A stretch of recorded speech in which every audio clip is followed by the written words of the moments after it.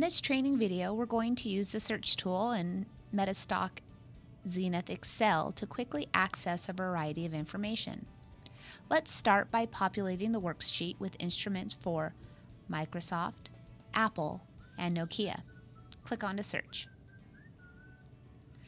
And let's type in Microsoft.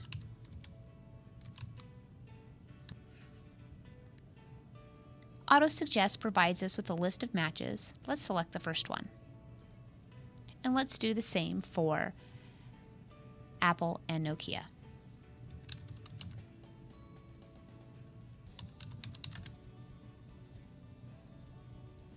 To perform an advanced search, select the magnifying glass.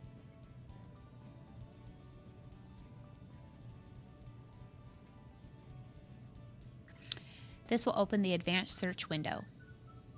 The Advanced Search allows us to narrow our search to a specific set of instruments.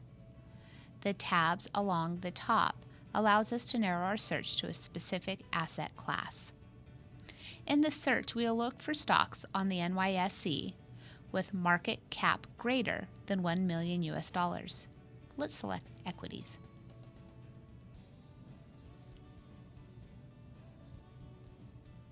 Popular filters for the equities asset class appears. Next, select Add Criteria to add additional filters to the display. Select Top Criteria and Market Capitalization USD. The filter now appears in the search. Type 100 in the greater than field to narrow the search to companies with market cap over $100 million. Next to exchange, in the search, type in New York and select the New York Stock Exchange and hit Add and OK.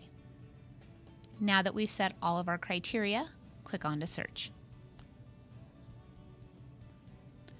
All of the instruments that match the criteria will be shown highlighted in blue click on to Send All to send the complete list of instruments to your Excel worksheet.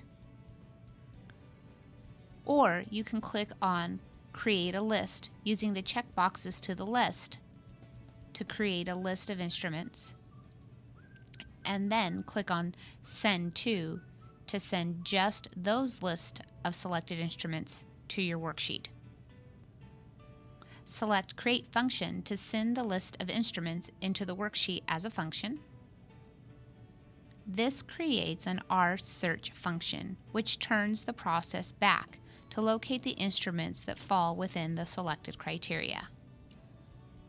You can also clear any of your search criteria by clicking the X. Thank you for joining me today on this training video on how to use the search tool in MetaStock XENITH Excel.